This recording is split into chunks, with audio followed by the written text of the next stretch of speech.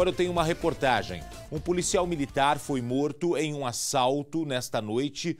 Os ladrões revistaram o PM e atiraram cinco vezes depois que perceberam que se tratava ali de um policial, de que ele estava armado, a farda. Vamos ver.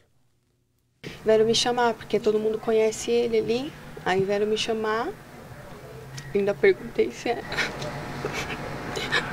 Ao receber a notícia, a noiva do policial não queria acreditar que o soldado Fernando Verdes, de 24 anos, estava mesmo baleado. Ela correu para o local e ajudou a socorrer o PM. Fernando estava com esta moto quando foi vítima de assalto em Diadema, na Grande São Paulo.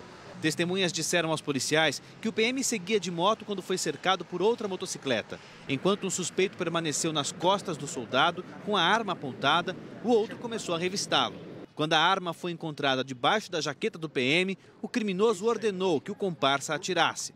Mesmo ferido, o policial ainda correu alguns metros até cair na calçada. O soldado Fernando trabalhou o dia inteiro. Saiu do batalhão, que também fica aqui na região metropolitana de São Paulo, por volta de seis e meia da noite. Quando entrou de moto nesta rua de menor movimento, foi cercado pelos dois homens que também estavam de motocicleta. Testemunhas afirmam que o soldado não reagiu.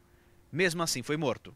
Fernando foi trazido para este hospital, mas não resistiu. Ele foi atingido por pelo menos cinco disparos, a maioria nas costas. Os bandidos fugiram levando a mochila e a arma do PM. Nenhuma cápsula foi encontrada, apenas um projétil que vai passar por perícia. Investigadores de Diadema já estiveram no local do crime. Na esquina da rua onde o soldado foi baleado, há uma câmera do sistema de monitoramento da prefeitura. Mas moradores dizem que o equipamento não funciona.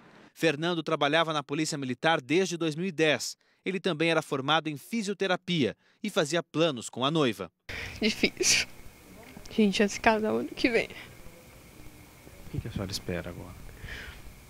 Espero que. Justiça, eu quero que eles peguem os responsáveis, porque ele era um bom menino, fazia mal a ninguém, era da casa pro trabalho. A gente mal saía, se saía era com os familiares.